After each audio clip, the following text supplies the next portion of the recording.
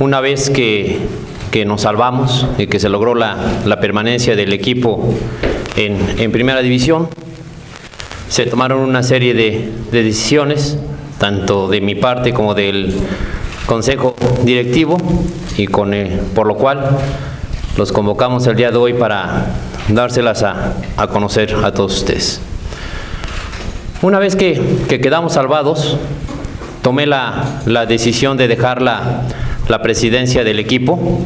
A partir de, la semana pasada se le notificó a la, Liga MX y a la Federación Mexicana de Fútbol que dejaba de ser presidente del Club Fútbol Puebla. Eh, puesto que realmente fue muy gratificante para mí tenerlo estos dos años y medio aproximadamente, donde se lograron cosas importantes, sobre todo el campeonato de la, de la, Copa, de la Copa MX. Eh, afortunadamente no tuvimos ningún fracaso, que hubiera sido el, el tema de descenso, pero también en un hecho de, en un sentido de autocrítica que durante toda mi vida, tanto personal como profesional, me, me ha acompañado, también analicé que no pude alejar del tema porcentual al equipo. Una vez que, que tomé la decisión, tuve un acercamiento con, con, mi sobrino, con Carlos López, el cual, eh, como ustedes saben, era hasta ese momento presidente deportivo del club y le ofrecí que, que fuera presidente de, del pueblo.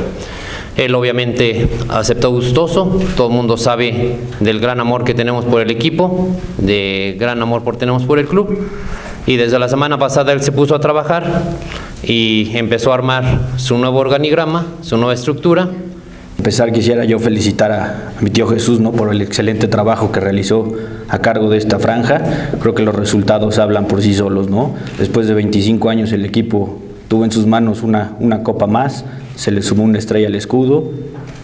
También tuvo la fortuna de, de que el equipo sub-20 tuviera un subcampeonato, o sea que fue hace, en este año y medio que, que hemos estado a cargo. También este, se ha hecho algo muy importante, ¿no? que ha sido adquirir cartas de jugadores, que eso a mí me facilita mucho el trabajo, ¿por qué? Porque me deja unas bases sólidas, unas bases sólidas sobre las que el profesor Walter y yo podemos empezar a trabajar, unas bases sobre las que podemos este, montar una nueva estructura, ¿no?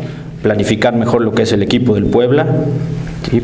y, este, y pensar en lo más alto, ¿no? como dice Jesús, ojalá a la brevedad posible podamos dejar el tema porcentual atrás, trabajando, sabemos que, que, es posible y este pues no nos queda más que, que, trabajar, no ponernos a trabajar a la brevedad, como él lo dice, desde la semana pasada hemos estado teniendo reuniones, hemos estado planificando el equipo que viene, nosotros queremos dejar a la base exitosa que, que estuvo el torneo pasado, y por qué digo exitosa, porque les repito, no tuvimos la fortuna de levantar un trofeo después de 25 años, hacer un torneo de 20 puntos que para mí es, es bastante bueno, claro que siempre es mejorar, ¿no?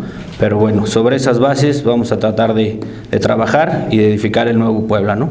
Uno de los principales puntos y los primeros que tomamos es la incorporación del profesor Walter, que es una persona que, que siente estos colores como nosotros, que quiere al equipo y que está comprometida, ¿no?